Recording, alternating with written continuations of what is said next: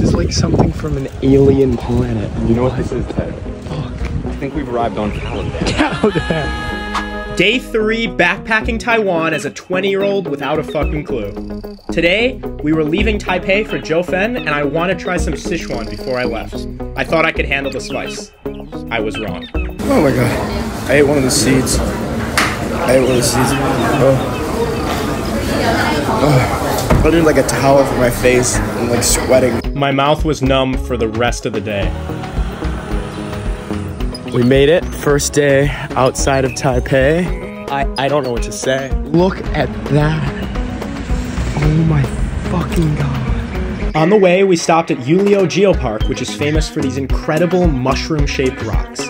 Looking at all this incredible nature really got me in this existential mood. How is any of this even possible?